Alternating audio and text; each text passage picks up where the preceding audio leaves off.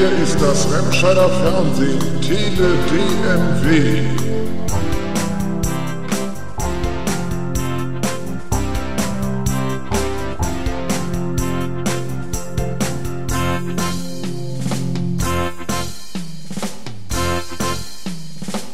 Und hier ist die Tele DMW Wocheninfo.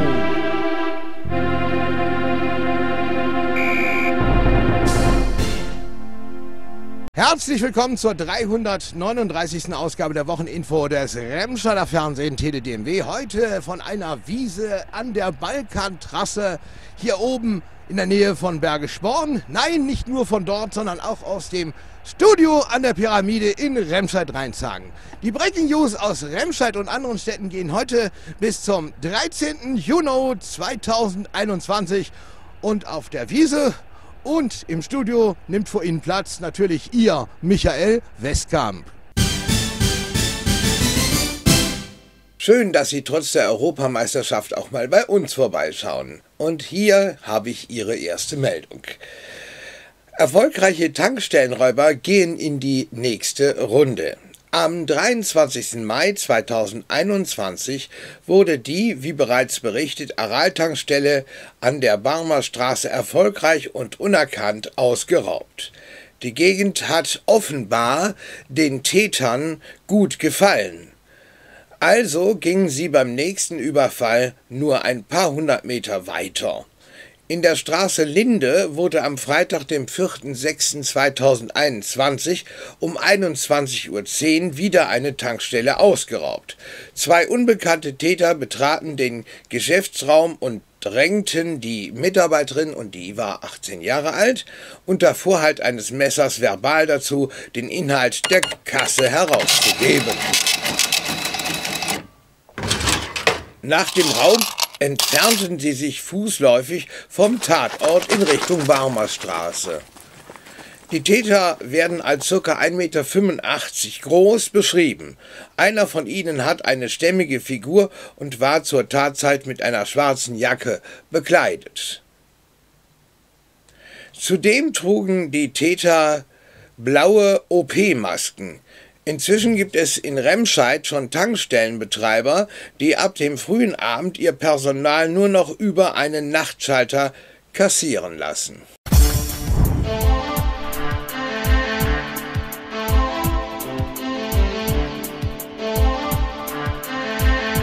Da legt sich eine Mountainbike-Fahrerin mit einem Porsche-Fahrer an.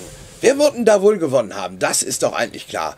Am Dienstag, dem 8.6.2021, kam es auf der Mausbacher Straße zu einem schweren Verkehrsunfall zwischen einem Auto und einer Fahrradfahrerin.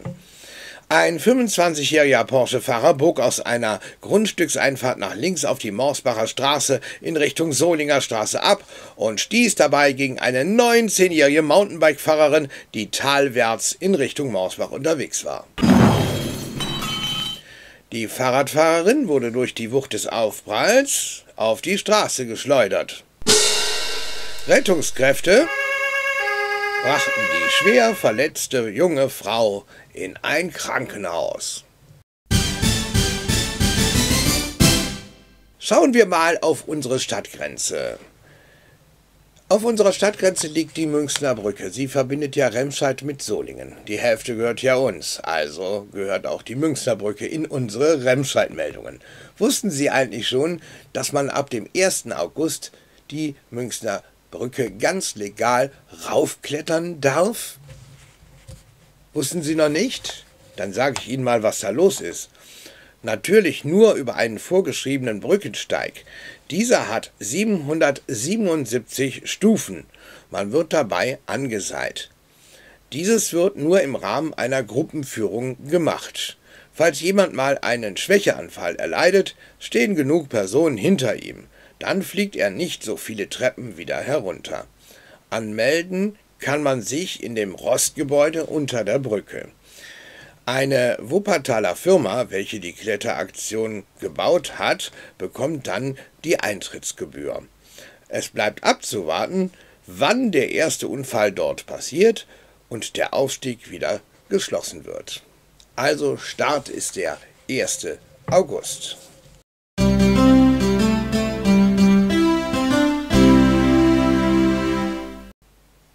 Heute schauen wir mal an den Rand vom Bergischen Land, ganz weit weg in eine Stadt, wo wir noch nie hingeschaut haben.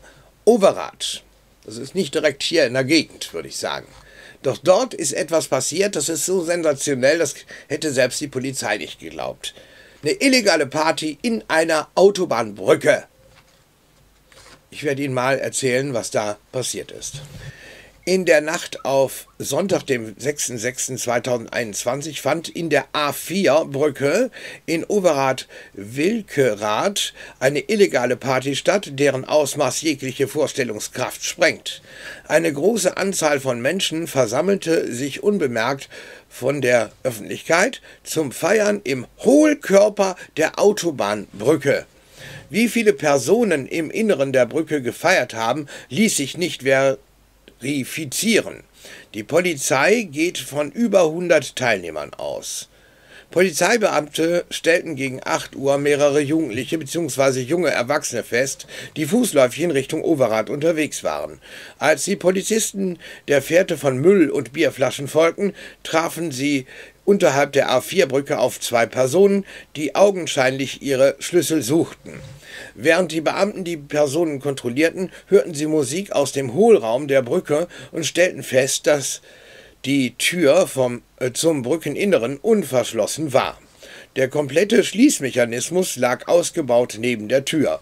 Auf der gegenüberliegenden Brückenseite nahmen die Beamten indes Menschen wahr, die aus dem etwa 500 Meter langen Hohlkörper kletterten.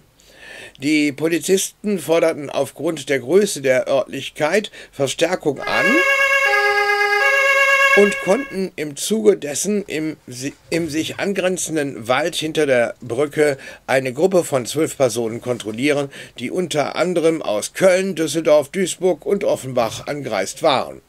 Gemeinsam mit den Einsatzkräften der Polizei Köln wurde parallel dazu der Hohlraum durchsucht. Hier wurden zwar keine Personen mehr angetroffen, jedoch große Mengen an Müll, unter anderem Konfetti und Bierflaschen, festgestellt.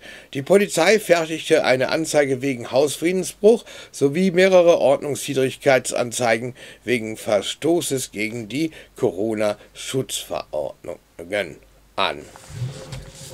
Sehr einfallsreich, die Leute.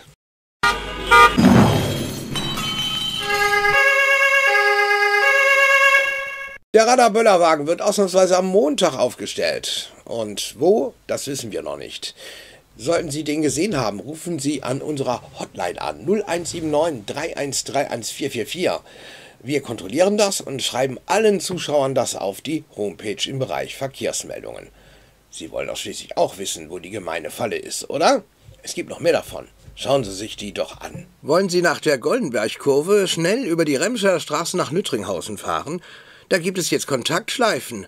Und zwar vor der Schule Goldenberg. Hier ist auch ein Starrenkasten installiert worden, den man besser sehen kann durch diese tolle Deutschlandfahne. Also dort, wo die Deutschlandfahne ist, bitte vorsichtig fahren. Hier ist von 7 bis 21 Uhr Tempo 30.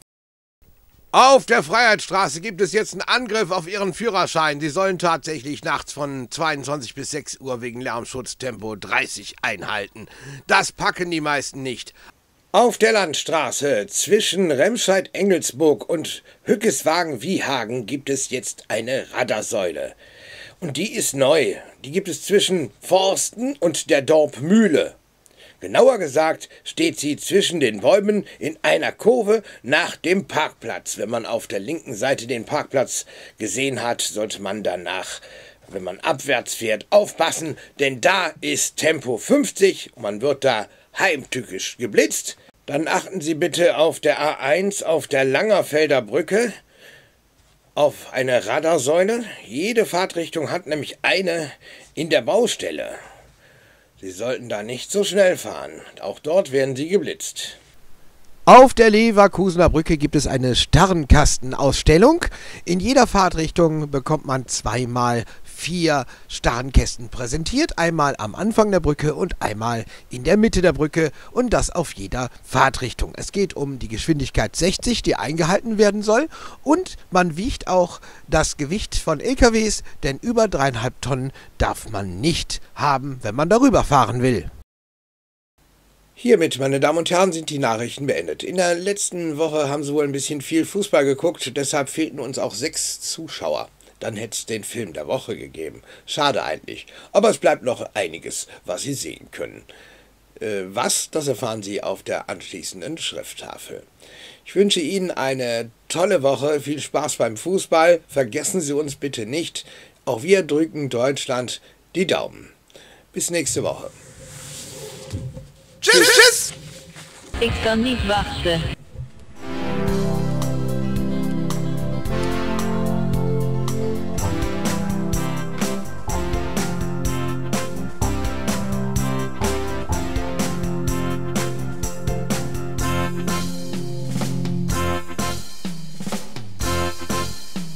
Ist das Remscheider Fernsehen, Tele DMW.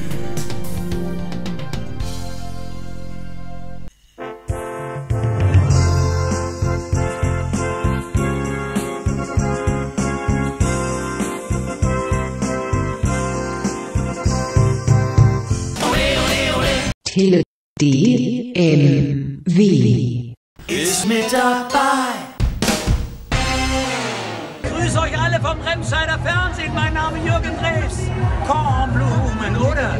Und wir fahren wie Vampire. Ich wusste immer schon Remscheid. Remscheid weiß Bescheid. Remscheider Fernsehen. Meine Fresse, ich glaube, ich lese nicht recht. Ich musste noch mal Schule gehen. Aber erst einmal eine Dusche für Tele DMW. Guter Sender. Da. Ja, danke schön. Mal Hallo, ich bin der Tom und grüße alle sehr vom Remscheider Fernsehen. Guckst du Tele DMW? Mit dem Dirk Michael Westkamp suchen Sie ruhig mal auf YouTube nach Tele DMW. Ah, stopp, stopp, stopp, ist ja alles falsch. Warum übst du denn nicht? Warum hast du denn die ganze Woche wieder nicht geübt? Ja, ich habe die ganze Woche Tele DMW geguckt. Ach, da ist natürlich ein Grund. Ja, weiter so. Sehr gut, sehr gut. Tele DMW. Einfach genial, dass es dich gibt. Wenn Sie mal so richtig lachen wollen, dann sind Sie bei uns richtig. Auf dem Spaßpower-Kanal von TeleDMW finden Sie zum Beispiel alle Sprüche der Woche. Und Sie können auch sehen, was dort alles so schief geht. Unvergesslich, in einem Film der Woche ist dem Moderator an einem Parkscheinautomaten der Kragen geplatzt. Schauen Sie doch mal vorbei beim Spaßbauer-Kanal. Dieser Kanal haut jeden um.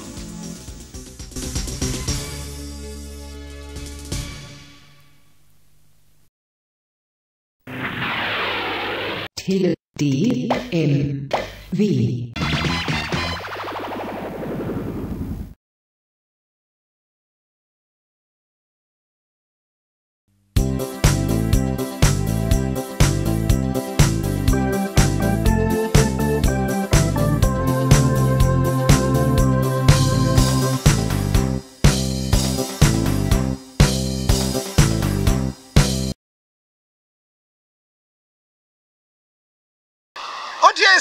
Der Spruch der Woche, der von einem doppelt so blöden Kommentar von der Nordsee wie immer beantwortet wird, falls Sie heute Glück haben. Denn der Spruch lautet, keine Antwort ist auch eine Antwort. Dazu der Kommentar von der Nordsee.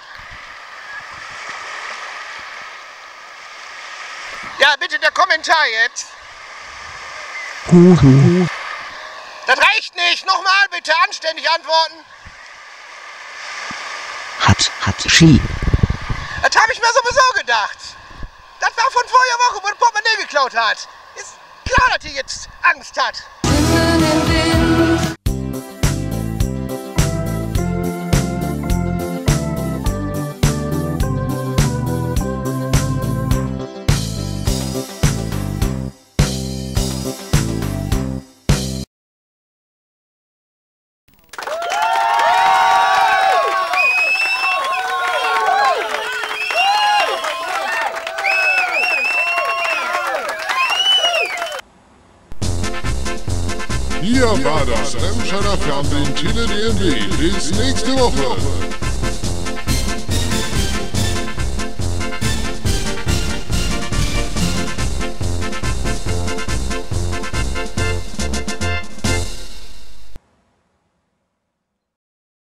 DMW aus Remscheid. DDMW aus Remscheid.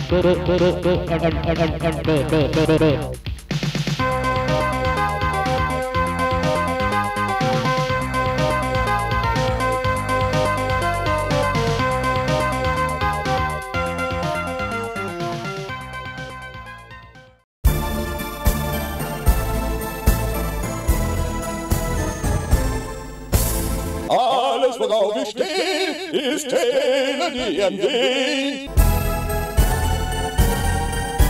Alles, was ich sehe, ist Tele-DMW.